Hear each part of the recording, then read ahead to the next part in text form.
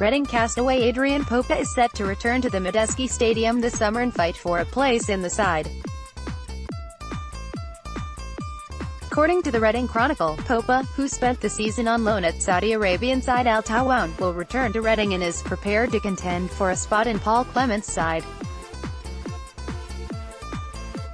The 29-year-old forward played nine times for Al-Taawoun, but failed to find the net or pick up a single assist in his loan spell.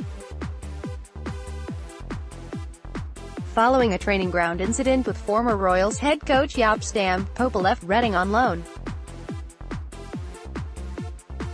But the arrival of a new manager is enough for the Romanian international to come back to the Madejski Stadium.